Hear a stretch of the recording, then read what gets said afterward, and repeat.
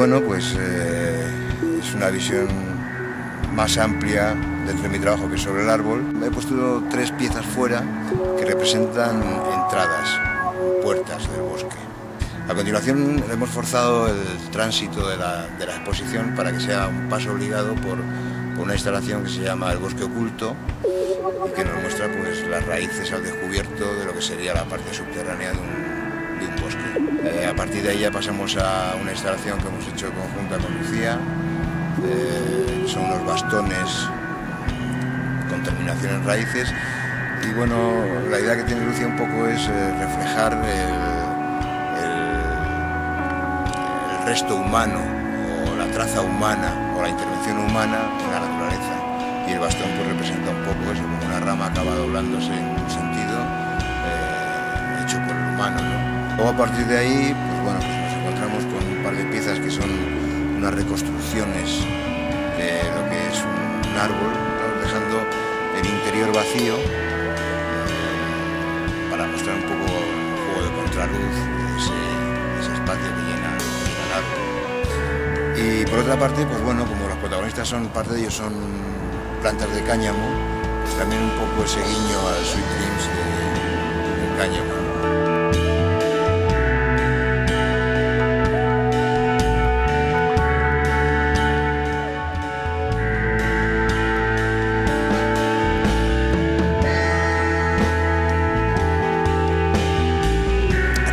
La estación de Sweet Dreams, que son de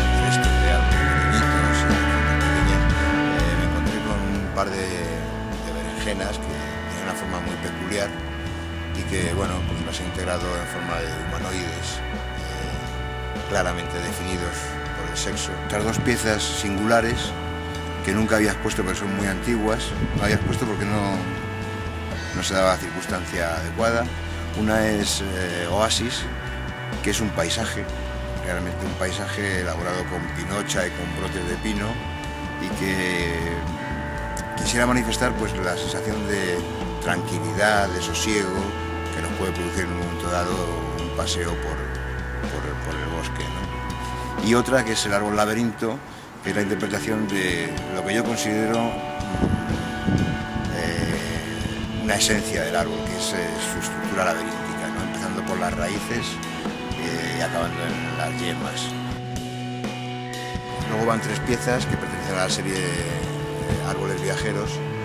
que son piezas que, bueno, pues árboles que he rescatado de playas, concretamente del litoral cantábrico, y que me sugieren la idea de un árbol que viaja, de un árbol que ha estado en, sitios que yo desconozco. He buscado una compañera, Lucía Loren, que también trabaja los elementos de la naturaleza y hace intervenciones en bosques. Bueno, la exposición esta se lleva a cabo en La Cabrera, en el Centro Comarcal de Humanidades, que es, muy sensible a, nuestros trabajos y el hecho de hacerlo con, Lucía es una persona que también vive en un medio rural, preocupada por los bosques, por la naturaleza.